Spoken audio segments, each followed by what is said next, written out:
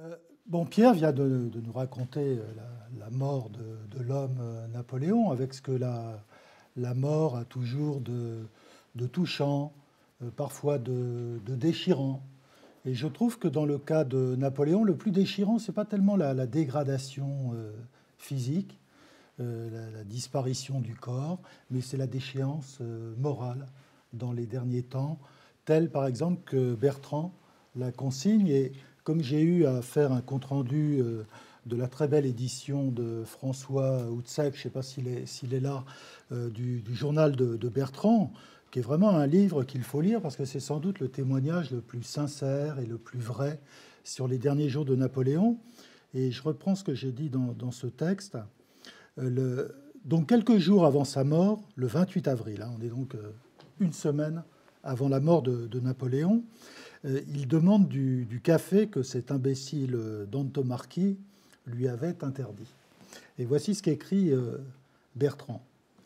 Les larmes m'en sont venues aux yeux en regardant cet homme si terrible qui commandait si fièrement, d'une manière si absolue, supplier pour une cuillerée de café, solliciter la permission, obéissant comme un enfant, redemandant la permission et ne l'obtenant pas, revenant et toujours sans succès, toujours sans humeur. Il avait à présent la docilité d'un enfant et il devisait en enfant. Voilà le grand Napoléon, devenu misérable et humble. Je trouve que c'est ce qu'il y a de plus euh, euh, déchirant dans la fin de, de Napoléon, parce que c'est tellement le contraste est incommensurable entre ce qu'il avait été et ce qu'il est devenu à la fin de, sa captivité. Alors le sort de Napoléon, on le retrouve un peu tout au long du XIXe siècle, parce que des cinq souverains qui ont régné sur la France au XIXe siècle, il n'y en a qu'un qui est mort dans, son lit, et là aussi d'une manière tout à fait pathétique, puisque vous savez que Louis XVIII, perdait ses doigts de pied euh, à la fin, c'est-à-dire il tombait tout seul, il se détachait de, son corps, mais enfin il est mort en roi, et il aurait pu dire, comme Louis XIV, euh, Je meurs, mais l'État continue. Voilà. Alors que les autres sont tous morts. Alors Napoléon en captivité et les successeurs en exil. C'est le cas de Charles X, de Louis XVIII, de Napoléon III. Et on peut compter peut-être le, comte de Chambord, euh, qui n'a pas été roi, mais qui aurait pu le, devenir s'il avait accepté de faire euh, quelques concessions à la société moderne. Alors, ce qui frappe dans cette. Euh, pour rattacher ça au, passé, c'est que, au fond, il y avait quelque chose de, si fragile euh, chez ces souverains post-révolutionnaires, y compris Napoléon Ier, qu'aucun finalement n'a eu l'occasion de mourir en souverain, comme les, devanciers euh, du temps de, la royauté, depuis les Mérovingiens jusqu'aux Bourbons. Et en fait, on peut dire que la volonté de Napoléon de fonder une quatrième dynastie, c'était un de ses euh, projets euh, sans aucune possibilité de, réalisation parce que la Révolution française avait euh, tranché l'idée de, légitimité au sens propre avec la tête de, Louis XVI et tué toute possibilité de restauration monarchique en France. Louis XVIII n'a dû qu'aux circonstances et au fait qu'on sortait de ce maelstrom qu'avait été le quart de siècle révolutionnaire et impérial, de connaître un règne finalement relativement euh, euh, paisible. Mais on voit que le prestige monarchique est retombé. Sitôt Louis XVIII mort, Charles X, ça n'a pas pris, Louis, Louis Philippe, ça n'a pas pris, Napoléon III, ça n'a pas marché. C'est-à-dire que ce sont des souverains essentiellement privés de légitimité. Personne, au fond, n'y croit. Et celui qui a le mieux euh, exprimé ça, eh c'est comme toujours euh, euh, l'immense Chateaubriand qui, qui l'explique sous une forme un peu imagée, poétique, mais très juste. Je cite un petit passage. Lorsqu'une colombe descendait pour apporter à Clovis l'huile sainte, lorsque les rois chevelus étaient élevés sur un bouclier, lorsque Saint Louis tremblait en prononçant à son sacre le serment de n'employer son autorité que pour la gloire de Dieu et le bien de son peuple, lorsque Henri IV, après son entrée à Paris, alla se prosterner à Notre-Dame, que l'on vit ou que l'on crut voir à sa, droite un bel enfant qui le défendait et que l'on prit pour son ange gardien, je conçois que le diadème était sacré. L'oriflamme reposait dans les tabernacles du ciel. Mais depuis que sur la place publique, un souverain, les cheveux coupés, les mains liées derrière le dos, a baissé la tête sous le glaive au, nom, au son du tambour, depuis qu'un autre souverain, Louis-Philippe, environné de la plèbe, est allé mendier des votes pour son élection, au bruit du même tambour, sur une autre place publique, qui peut conserver la moindre illusion sur la couronne? Qui peut croire que cette royauté meurtrie et souillée puisse encore en imposer au monde?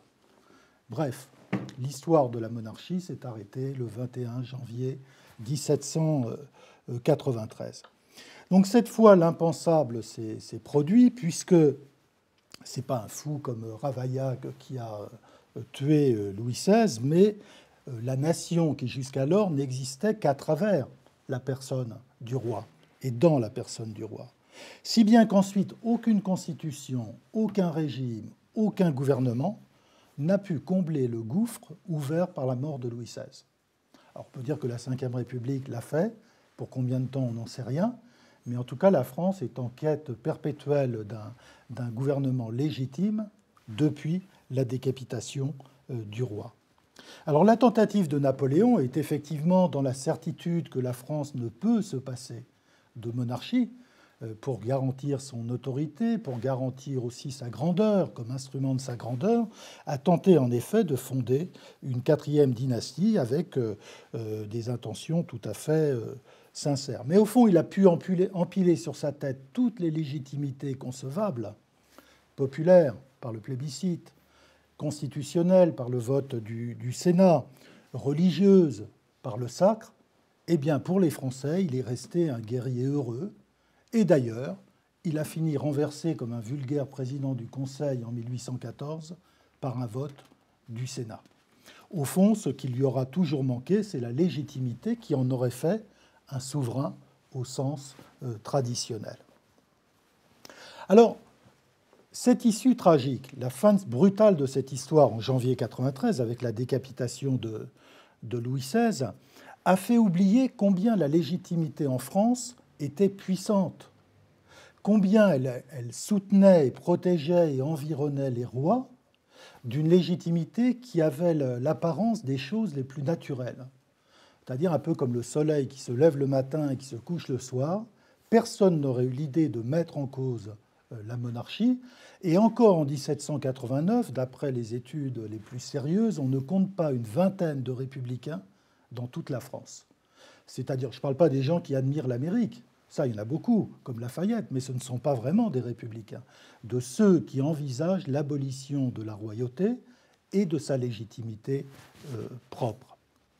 Alors cette histoire de la légitimité euh, monarchique a fini euh, très brutalement et elle avait commencé très laborieusement, puisqu'au fond, la, consolidation de la légitimité royale est une affaire de plusieurs siècles. Pendant plusieurs siècles, les rois ont été plus ou moins formellement élus, où il y a eu la, confirmation élective de l'accession au trône, que l'on retrouve d'ailleurs dans la cérémonie du sacre euh, jusqu'à la fin. Il y a eu d'abord pour consolider ce pouvoir fragile, puisque le roi n'était pas toujours le plus puissant euh, seigneur de, son royaume, le, le, fait, à partir du Capet, d'associer le fils au pouvoir du père si bien qu'il y a un roi couronné qui règne et un roi désigné qui attend de prendre la place, et ce qui permet d'éviter cette période toujours dangereuse qui est le moment de la transition entre deux règnes ou de la succession. Sans doute, peut-être que l'histoire de la royauté aurait été très différente sans un miracle biologique qui fait que, euh, pendant, que jusqu'en 1316, les Capétiens ont toujours été en mesure de transmettre la couronne à un garçon euh, mâle, un héritier mâle, en état de régner. Ça, c'est un miracle que personne ne pouvait prévoir et qui a sans doute contribué à installer l'idée de la succession héréditaire euh, du, trône. Et à compter de, la mort de, de, Philippe Auguste au XIIIe siècle, beaucoup des artifices qui avaient entouré l'installation du pouvoir royal dans les siècles précédents ont été abandonnées, c'est-à-dire que Louis VIII a succédé à son père sans aucune formalité particulière, parce que l'idée de la succession héréditaire s'était alors imposée. On était quand même six siècles après les débuts de l'histoire de la monarchie en France. Néanmoins, toujours la succession est restée un, moment euh, délicat, une transition délicate à, négocier. Pour une raison simple, c'est que la monarchie est de tous les régimes politiques, et c'est ce qui fait sa, grandeur, le seul qui épouse le cycle biologique. Donc on y craint euh, beaucoup de choses, on y craint un roi fou, on y craint un roi euh, sans descendance, un roi mineur, bien sûr, et puis la vacance du trône au moment de la disparition du, souverain euh, régnant. Alors, les Français, après les Anglais, ont élaboré une doctrine qui euh, consolidait un peu le, pouvoir royal pour passer d'un roi à un autre, et qui est la, doctrine des très célèbre des deux corps du roi qui postulent que, œuvre de juriste, qui postule qu'il y a d'un côté le corps perpétuel, euh, l'État, et de l'autre côté la royauté composée du corps naturel mortel, celui du roi. Et que euh, la royauté continue d'exister de manière inaltérable à travers la figuration, la succession de ces figurations éphémères que sont les rois euh, mortels. Alors tout ça a abouti au développement, à l'élaboration de très nombreuses formules. Dignitas euh, non moritur, le mort saisit le vif, qui est sans doute la formule la plus, la plus parlante, c'est-à-dire l'idée que euh, la capacité de régner passe instantanément du corps mort du roi dans le corps vivant euh, du, du, successeur, et puis bien sûr la célèbre formule des obsèques, le roi est mort, vive le roi. D'ailleurs, c'est cette doctrine qui a démodé, pour ainsi dire, la cérémonie du sacre. Parce qu'à partir du moment où juridiquement on établissait que la puissance, la capacité de régner passait automatiquement du roi défunt dans le roi accédant au trône, eh l'onction euh, du sacre devenait euh, moins euh, importante. Et peu à peu, le sacre est venu orner l'accession au trône sans constituer la capacité du roi de régner. Ça lui donne un prestige supplémentaire. Alors, c'est vraiment à partir du XVe siècle, on peut dire après la guerre de Cent Ans, que la plupart de ces maximes, de ces précautions pour assurer la transition entre deux rois euh, se sont trouvées former un système euh, cohérent. Alors, l'élaboration de cet ensemble juridique, de plus en plus sophistiqué, n'empêche pas que la mort du souverain euh, régnant demeure un moment de grande incertitude. On le voit après la mort accidentelle euh, d'Henri II, on le voit pendant la, minorité euh, de Charles IX, on le voit après l'assassinat d'Henri III, on le voit à l'avènement de Louis XIV après la Fronde, et encore à l'avènement de Louis XV, avec euh, au moment de cette hécatombe familiale qui semble menacer l'existence même de la, de la dynastie. Et finalement, cette théorie euh, des deux corps du roi, cet ensemble de règles juridiques et de précautions juridiques pour assurer une transition en douceur entre deux règnes, et donc la continuité de, l'État avant tout, s'est trouvé matérialisé à partir de l'époque de la Renaissance dans le rituel euh, très spectaculaire des, des funérailles royales, et qui était l'occasion d'exalter moins la personne du roi que l'existence de la monarchie et de la royauté elle-même. Une image ici. Voilà. Alors, c'est un rituel qui connaît ses beaux jours du 15e au 16e siècle euh, en grande partie et qui va au début du 17e après les obsèques d'Henri IV, euh, tomber euh, peu à peu en déshérence. Alors vous connaissez tous ce rituel, ce sont des funérailles qui s'étalent sur un laps de temps assez long, puisque euh, ça va du moment où le roi meurt jusqu'au moment où il est inhumé euh, dans la basilique euh, Saint-Denis. Alors, le rituel commence toujours par l'effigie. Et c'est sans doute l'aspect le, plus connu, c'est-à-dire que le roi repose sur son lit ou déjà à l'intérieur d'un catafalque surmonté d'une effigie ressemblante, effigie ressemblante qui continue de régner. C'est-à-dire qu'on sert les repas à l'effigie, euh, l'effigie euh, donne des audiences, reçoit, tandis que le roi qui va régner reste lui caché. Il n'apparaît pas en public, il se tient dans l'ombre, il attend le moment de reprendre le sceptre et la couronne et donc d'être investi des pouvoirs qui sont en ceux, ensuite, qui sont toujours ceux du mort. Voici là maintenant la scène des des funérailles où l'effigie accompagne le défunt jusqu'au euh, tombeau, et c'est seulement au dernier moment, celui de l'ensevelissement, que l'effigie va disparaître pour euh, laisser place aux insignes de la souveraineté qu'on va déposer sur le royaume, puis que l'on va donner au roi euh, qui va succéder, et avec le célèbre cri Le roi est mort, vive le roi.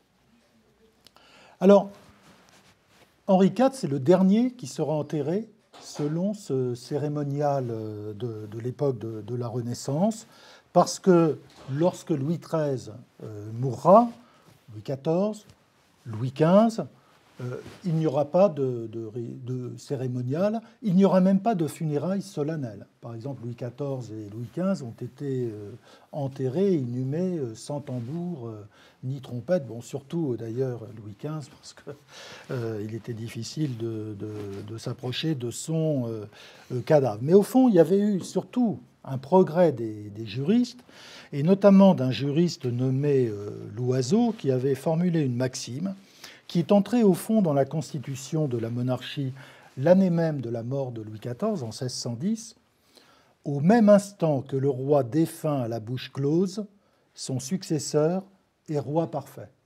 Et c'est en vertu de cette maxime que euh, Louis XV, Louis XIV d'abord, puis Louis XV, qui étaient tous deux mineurs euh, au moment des faits, ont pu prendre des actes publics, par exemple Louis XV tenir un, un lit de justice, il avait l'âge de 5 ans, alors même qu'il n'était pas encore, euh, il n'avait pas été sacré et couronné.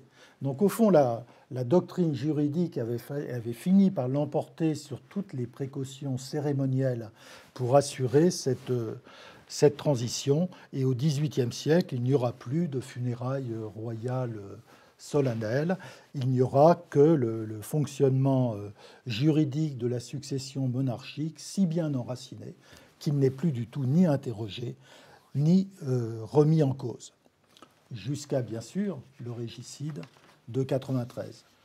Alors, la monarchie donnera sa dernière représentation avec euh, Louis XVIII, qui n'a pas été sacré, mais qui aura droit à des funérailles solennelles en 1824 après quoi, bien sûr, ce sont les morts en exil. Alors revenons à Napoléon. Il est mort au fond un peu comme Louis XVI, déchu euh, de sa couronne et prisonnier.